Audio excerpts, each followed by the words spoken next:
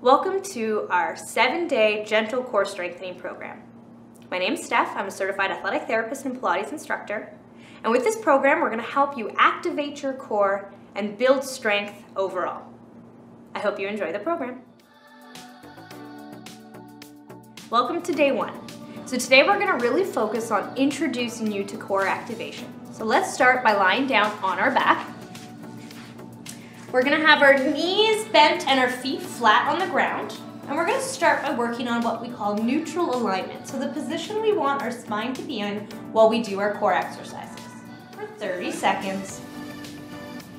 Squeezing the core, breathing throughout the whole exercise. And especially for this one, don't let yourself lose the little dip in your low back. And come back down. Now we're gonna add pulling the belly into our spine as we do this motion, and then relax down.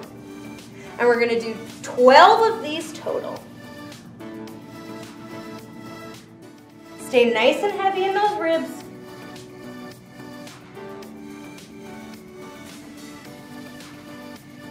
Center line, and then we're gonna bring them across. And we're gonna repeat that 10 times on each side.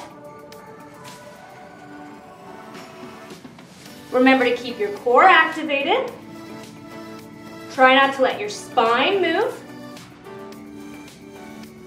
Keep breathing. I hope you're feeling more connected to your core and stronger overall. Feel free to continue repeating the program as many times as you'd like.